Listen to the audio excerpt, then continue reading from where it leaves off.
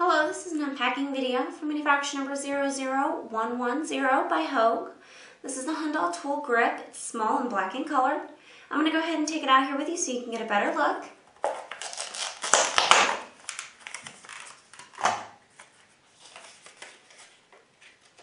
Here you have your installation instructions.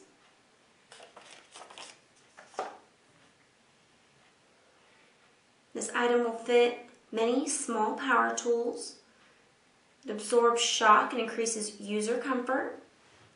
It's made of a soft elastomer material.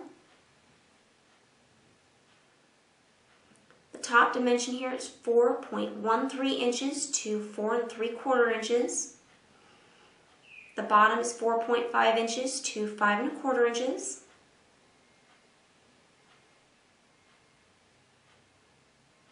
And again, this is a HandAll tool grip. It's small and black in color, and this is by Hogue.